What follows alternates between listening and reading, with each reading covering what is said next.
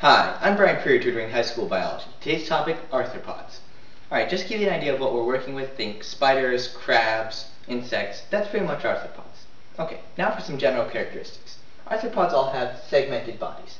This allows for a greater degree of specialization. One segment can do one thing, another segment can do another, which helps a lot evolutionarily. They also have an exoskeleton made of chitin. This is a tough outer layer, a tough protective covering that, well, it protects them from harm. Doesn't give as much flexibility as an endoskeleton though. That's the skeleton on the inside. Humans have that. But insects, arthropods, not that evolved. They also have jointed appendages. In fact, the word arthropod means jointed appendage. This gives them a lot more mobility. Compared to, say, oh, a snail.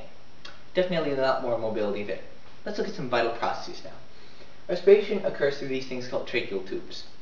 Usually. We're going to talk about other ones first, but tracheal tubes occur in the majority.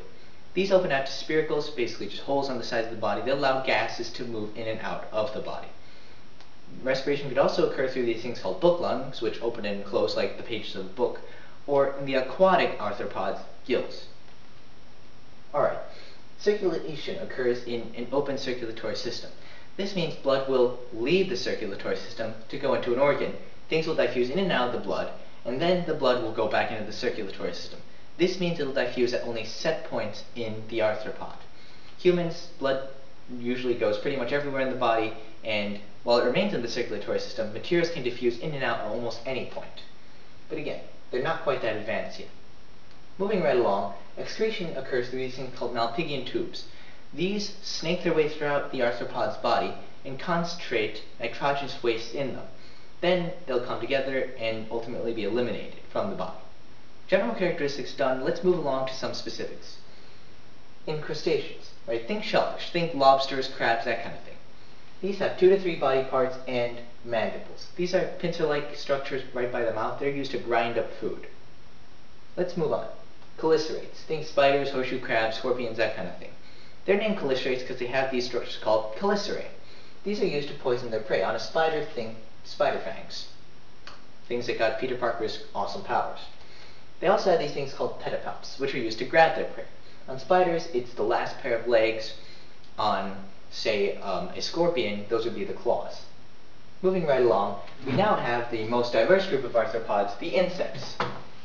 These have three body segments, two legs per body segment, six legs in total. They also have just so many different ways of doing so many different things. They have caste structures, they have different mouth parts. You don't really need to know too much of that for biology, just know it's there that they have structured caste systems where one group of insects does one thing, another group does another thing. They have different mouth parts. But the most important thing to know, life cycles. Incomplete and complete metamorphosis. In incomplete metamorphosis, an adult lays eggs. The eggs will hatch into nymphs. Nymphs look like adults, they're just smaller. The nymphs then mature into adults. Simple enough. Let's go to complete metamorphosis. Adults lay eggs. The eggs will hatch into larvae. The larvae do not look like the adult. This is the juvenile stage. The larva will then mature into pupa. The pupa stage it really doesn't move very much, it doesn't consume too much energy. That's because a lot of it is being devoted to internal changes, when the larva, which is now a pupa, is becoming more like an adult. And finally, the pupa matures into an adult. And that's pretty much it for arthropods. To recap, arthropods have a segmented body. This allows for specialization, which you need segment. They also have an exoskeleton of chitin, which helps protect them. It's an outer covering. They also have jointed appendages, which increases their mobility. Respiration is performed through usually tracheal tubes which snake their way throughout the body and allow gas exchange. These open up into spiracles, holes that allow gases to exchange with the outside world. Some do it with book lungs, some do it with gills. Circulation occurs in an open circulatory system. Blood will leave the circulatory system, materials will diffuse in and out, and then blood will re-enter the system.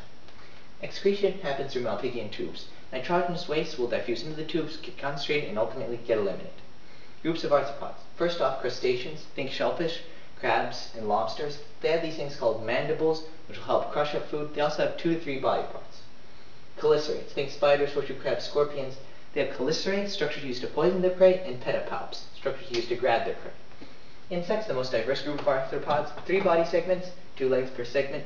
Know that they're very diverse and also know the main life cycles. Incomplete metamorphosis, adult lays eggs, eggs hatch into nymphs. Nymphs are smaller version of the adult, and then the nymph matures into the adult.